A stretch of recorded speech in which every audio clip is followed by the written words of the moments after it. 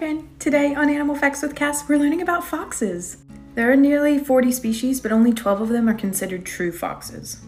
They're typically solitary animals and mostly nocturnal. But if you do happen to see a group of them, it would be called a skulk of foxes, which is kind of hard to say. The red fox is the most common and the largest. They can be about 24 pounds.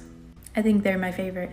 And the smallest fox is a fennec fox. They're found in the desert and they're only about 2 to 3 pounds. Foxes are a part of the Canidae family, which means they're related to dogs. The gray fox is the only member of the dog family that can climb a tree.